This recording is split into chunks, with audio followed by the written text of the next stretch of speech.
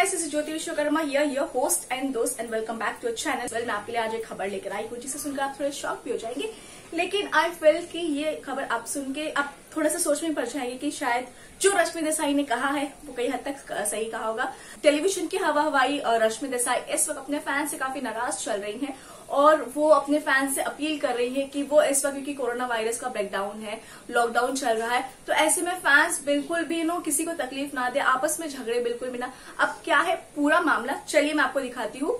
Sorry तो अब क्या है पूरा मामला दोस्तों? चलिए मैं आपको बताती हूँ। तब तक आप पूरा वीडियो आप लास्ट तक देखिए और इसमें आपको बहुत सी अच्छी खबर भी मिलने वाली है। दोस्तों बिग बॉस तेरा एक ऐसा सीज़न रहा है बिग बॉस के इतिहास में जो कि टीआरपी के मामले में जो कि पॉपुलैरिटी के मामले में ये सबसे यू you नो know, एक फ़र्स्ट पोजीशन पर है। बिग बॉस तेरा एक ऐसा सीज़न है कि जो जिसने बाकी सारे जो पिछले सीज़न है, उसको टीआरपी के मामले में कड़ी टक्कर दी है। इसमें जो भी कंटेस्टेंट आए हैं, वो जब घर के बाहर निकले से कहा जाता है कि बिग बॉस तेरा के बाद जो कंटेस्टेंट होते हैं, उनकी किस्मत बदल जाती है बिग बॉस के बाद ऐसा ही कुछ चमत्कार इस बार भी हुआ है। हम देख रहे हैं कि बिग बॉस तेरा के बाद जो भी कंटेस्टेंट आए थे, वो बिग बॉस तेरा के बाद मतलब ये शो खत्म होने के बाद वो अपने अपने प्रोजेक्ट्स में बिज़ी है और यू नो काफ़ी अच्छा परफॉर्म भी कर रहे हैं। ऑडियंस को काफ़ी ज़्यादा खुश रख रहे हैं ऑडियंस के जो फेवरेट कंटेस्टेंट है, वो भी ऑडियंस को काफ़ी ज़्यादा अच्छे लग रहे हैं, वो भी अपने अपने प्रोजेक्ट्स में बिज़ी है। ऐसे में जो कई स्टार जो कई कंटेस्टेंट है, वो हाँ उन्होंने आके हमें बहुत से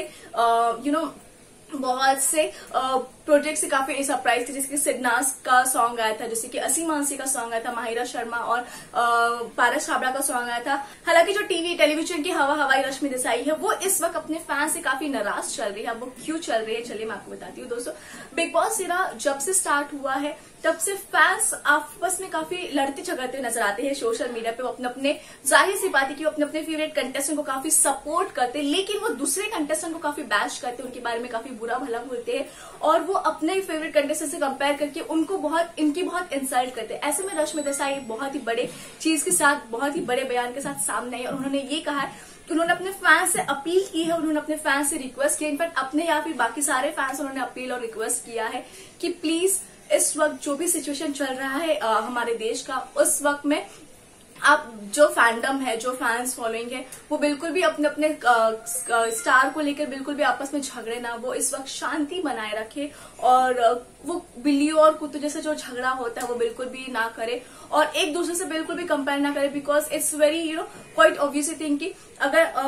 हर किसी इंडिविजुअल की हर की पसंद अलग होती है। शायद किसी को शहनाज गिल पसंद है, किसी को सिद्धार्थ शुक्ला पसंद है, किसी को रश्मि देसाई पसंद है, या फिर किसी को कोई और पसंद हो सकता है। तो हर किसी की पसंद की रिस्पेक्ट करो, हर किसी के फेवरेट स्टार की रिस्पेक्ट करो, किसी की भी कोई इंसल्ट मत करो because this is not the right way कि आप किसी की इंसल्ट कर रहे हो तो आप खुद को एक फ़ैन कहला रहे हो। फ़ैन वो होता है जो हर हर चीज़ में अपने फेवरेट स्टार को सपोर्ट करता है, लेकिन वो किसी और स्टार के बारे में बुरा भला कभी नहीं बोलता है। ऐसे में रश्मि देसाई ने यही रिक्वेस्ट की कि प्लीज़ आप किसी की इंसल्ट ना करें आप सबको सब, हर एक, एक दूसरे को सपोर्ट करें। और बहुत सारा प्यार बांटिए क्योंकि इस वक्त जो देश का सिचुएशन चल रहा है कोरोना वायरस की वजह से लॉकडाउन जारी है ट्वेंटी वन डेज़ का जो कि अभी फिफ्टीन अप्रैल तक होने वाला है। ऐसे में हर कोई अपने घर में है सेफ़ है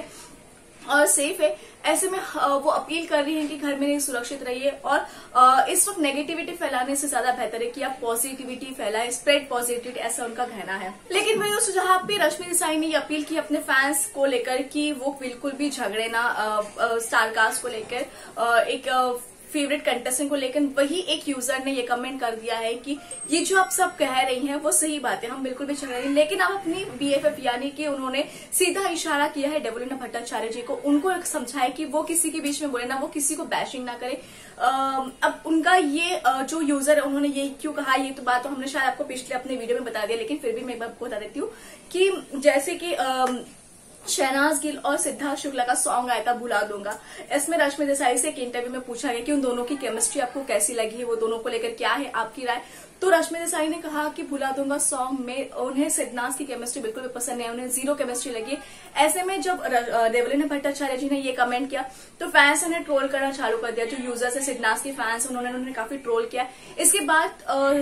रश्मि देसाई ने ये ट्वीट किया है। रश्मि देसाई के इस ट्वीट को रिट्वीट करते हुए फ़ैन ने ये लिखा कि आप पहले आप अपने बीएफएफ यानी कि डेवलिना भट्टाचार्य जी को पहले समझाए कि वो किसी के बारे में बुरा ना बोले, तब जाके हम समझेंगे। अब ये ज़ाहिर सी बात है कि सिडनास के फ़ैन उनके बारे में जब भी जो कुछ बोलता है तो सिडनास के फैंस को बुरा ही लगता है, लेकिन फिर भी दोस्तों it's okay I still want to say कि आप जैसे कि रश्मि देसाई ने कहा कि आप किसी को बैश ना करें और पॉजिटिव स्प्रेड करें बिकॉज़ इस वक्त देश को हमारी बहुत ज़रूरत है, हम पॉजिटिव रहेंगे तो हमारा देश जो इस वक्त कोरोना वायरस के खतरे से मंडरा रहा है, हम साथ में फाइट करेंगे और जैसे कि कहा गया है कि घर में है, घर में रहे लॉकडाउन के चलते तो घर में रहिए, सुरक्षित रहे डेट्स दोस्तों, इसको लेकर क्या है आपकी राय? आप रश्मि देसाई की बातों से कितने सहमत है? कमेंट करके ज़रूर बताएँ और हमारे चैनल को सब्सक्राइब करें।